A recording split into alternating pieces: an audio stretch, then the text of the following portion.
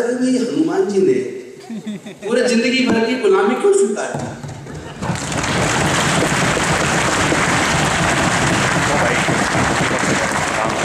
कोई वजह होती है? कोई आदमी अपना पूरा जीवन किसी के प्रति दास बन के गुलाम बन के लगा दे तो कोई वजह होनी चाहिए ना? या तो उनके पूरे परिवार या उनकी पूरी बिरादरी उनके लिए बहुत बड़ा कोई काम कर दिया हो तो फिर आदमी कहता भाई आपने मेरे पूरे बिरादरी के लिए इतना काम कर दिया। इसलिए मैं अपना पूरा जीवन अब आपको समर्पित कर रहा हूँ। लेकिन यहाँ समर्पण की वजह समझ नहीं आई। और अभी तीन दिन पहले अलवर में योगी जी ने कहा कि वो दलित थे, आदिवासी थे, और जो राम भक्त है वो बीजेपी को वोट करें। सॉरी गलती बुरा मत मानिएगा, कोई भी अलग अलग पार्टी के लोग हैं, लेकिन हो सकता है एक पर्टिकुलर पार्टी के ज़्यादा हो। मैं मेरा मकसद किसी को हाथ नहीं है। वैसे ये बात इसलिए कह रहा हूँ कि नहीं, वो उनके, उन्होंने कहा कि जो राम भक्त है, वो उनको वोट दे। और चूँकि वो राम भक्त है तो उनकी पूरी कम्युनिटी राम भक्त है, वो उनको वोट दे। भाई, कम से कम वोट तो हमें ईमानदारी से कर लेने दीजिए। जो भी सरकार हमारे समाज के विकास की योजनाएँ बनाएगी, जो भी नेता हमारे समाज के लिए दुख दर्द में खड़े होंगे हमारे समाज के लोग उनको वोट देंगे। वो ये नहीं देखेंगे कि ये आम आदमी पार्टी का है, या बीजेपी कांग्रेस का है। उनको ये देखना चाहिए कि हमारे हित में क्या है।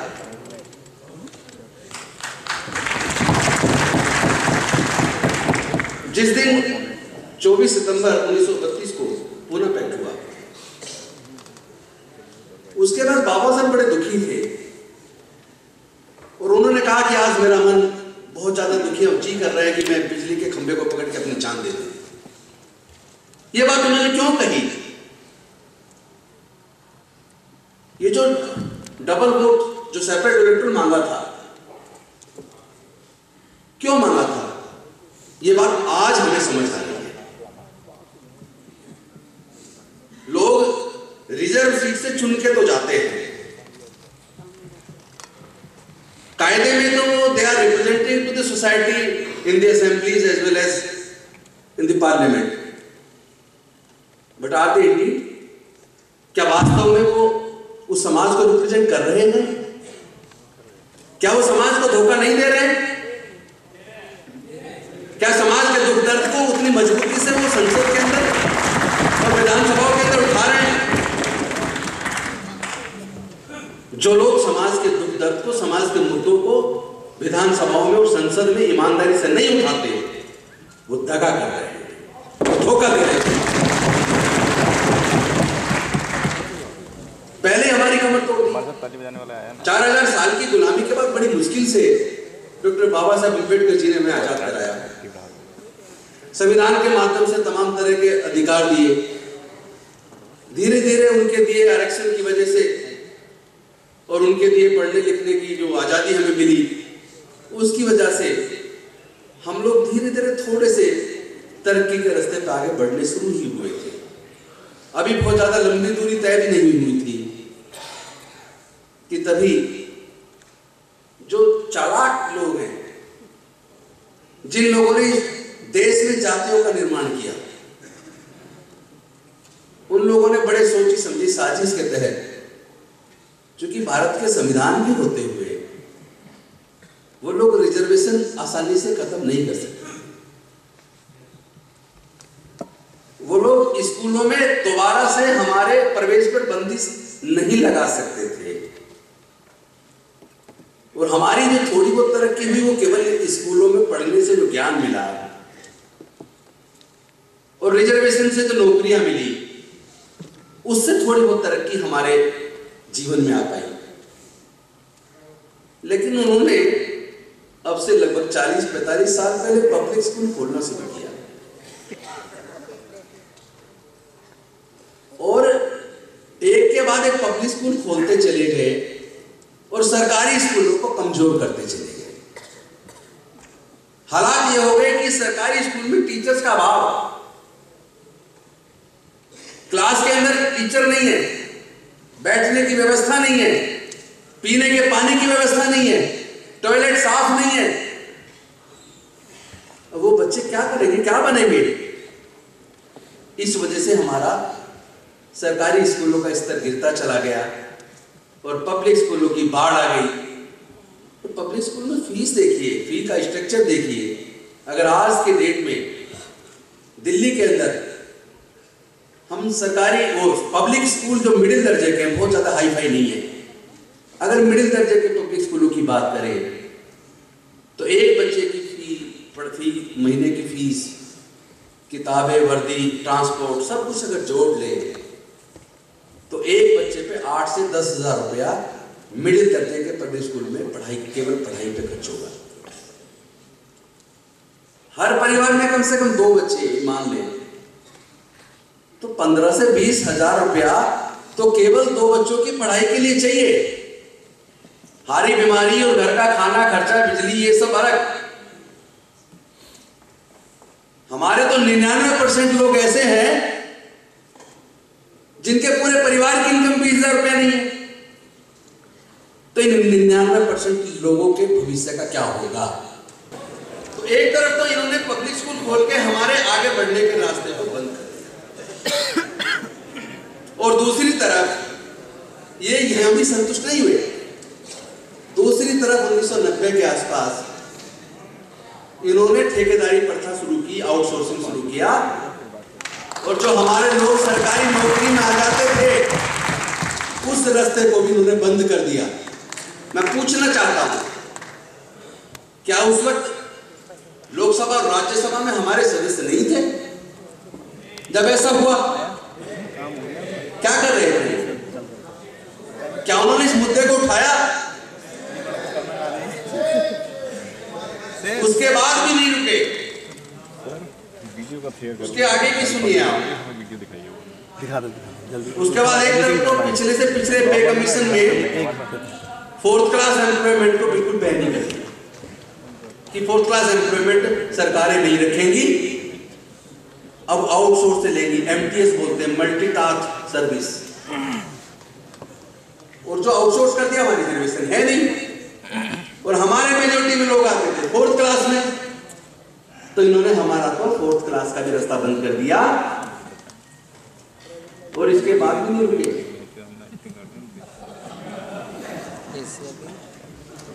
सरकारी स्कूलों में करीब दस साल पहले एक पॉलिसी ऐसी लागू की जिसकी डिमांड पेरेंट्स ने नहीं की। उसकी डिमांड टीचर्स ने भी नहीं की। उसकी डिमांड बच्चों ने भी नहीं की। नो डिटेंशन पॉलिसी किसी को भी फेल मत करो।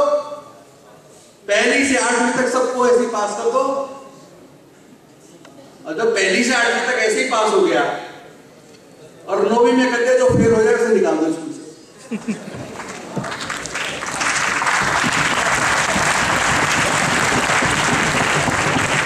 जब उस बेचारे ने सीखा ही नहीं कुछ बाकी सब्जेक्ट तो छोड़िए अगर उसे कहे कि भाई बीमारी की छुट्टी की एप्लीकेशन हिंदी में लिख दे और वो हिंदी में भी बीमारी की छुट्टी की एप्लीकेशन नहीं लिख पा रहा नौवीं में चला गया और नौवीं में उसे एग्ज़ाम पास करना नहीं तो उसको जवाब आप ईमानदारी से बताइए क्या वो एग्ज़ाम पास कर पाएगा?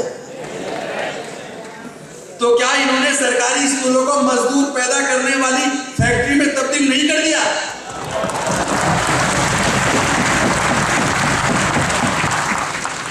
उस वक्त हमारे एमपी एमएलए कहाँ थे? ये बहुत बड़ी समस्या है। मैं कहता हूँ, सारे चिंताएँ हम बाद में कर लेंगे। हमारा तो विकास का सिर्फ़ दो ही रास्ता था भाई, पहले चार हज़ार साल पहले जब हमें गुलाम बनाया, हमारा सारी प्रॉपर्टी सब कुछ छीन लिया और धर्म शास्त्रों में लिख दिया, तुम अछूत हो, शूद्र हो, तुम्हारा कोई अधिकार नहीं है। तुम्हारा केवल कर्तव्य है ऊपर के तीनों वर्णों की सेवा करना। सेवा करने का मतलब पूरी ज़िंदगी सेवा ही सेवा। पढ़ने में भी बंदिश। अगर पढ़ोगे, लिखोगे मतलब तुमने अगर कोई शास्त्र का या कोई श्लोक भी सुन लिया तो कान में खोलता हुआ शीशा डलवा दिया। और ज़ुबान से अगर उच्चारण कर दिया किसी श्लोक का तो उसकी जीभ कटवा दी। इतना भय पैदा कर दिया। और स्कूल जो भी गुरुकुल होते थे, उन पर बंदिश लगा दी कि अछूत की एंट्री बंद। किसी ने अगर अपने आप कोई कला सीख भी ली, उसका अंगूठा कटवा दिया। हमें काबिल नहीं बनने देंगे पर हम तो बोन काबिल है हम तो पैदाइशी काबिल है हम क्या करोगे हमारी काबिलियत को आज बात कर रहे हैं स्किल डेवलपमेंट सेंटर खोलने की हम तो बोन स्किल्ड है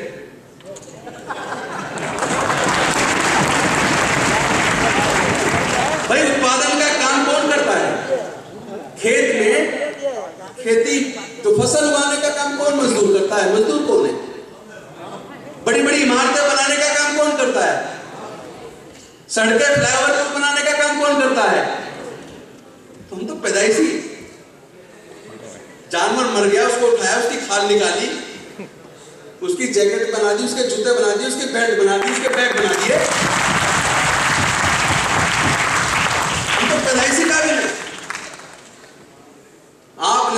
देखा कि अब चमड़े में पैसा आने लगा। क्योंकि ठेका छूटता है हर ज़िले में करोड़ों रुपए का। जब लगा करोड़ों रुपए कमाने का टाइम है, आपको जान का ताजुब होगा, मीट का व्यापार मैक्सिमम जैन लोग कर रहे हैं। अहिंसात्मक। कितना धोखा है हमारे देश में। मैं अपने सब्जेक्ट से थोड़ा और आगे निकल गया वापस आता हूँ। बाबू हो गए। तो जो भाई आपको पढ़ने का अधिकार नहीं है आपको संपत्ति अर्जित करने का अधिकार नहीं है क्योंकि धर्म में शास्त्रों में बंदिश है तो इस वजह से हमारे लोग लगातार चार हज़ार साल गुलाम रहे। और बाबा साहब ने जब मौका दिया संविधान के माध्यम से सबको समान कर दिया और उस मौके का लाभ उठा के हमारे लोगों ने मेहनत की, अपनी काबिलियत साबित की। इस पर वापस आता हूँ एक बात बोल के। मैं जो कह रहा था कि काबिलियत तो कूट कूट के भरी है। देखो, बाबा साहब को मौका मिला, उन्होंने भारत का, दुनिया का सबसे बेहतरीन संविधान लिख डाला। जोगेंद्र प्रसाद जोगेंद्र नाथ खंडर को मौका मिला तो पाकिस्तान का संविधान लिख डाला।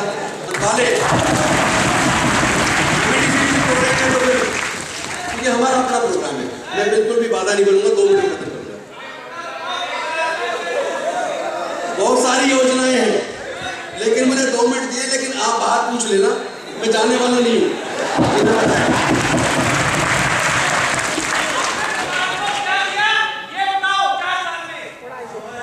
हाँ बाहर आ जाओ और सारी योजना बता देता हूँ जो लागू की है लेकिन मुझे दो मिनट में से भी आधा मिनट आपने ले ली डेढ़ मिनट में अपनी बात खत्म करता हूँ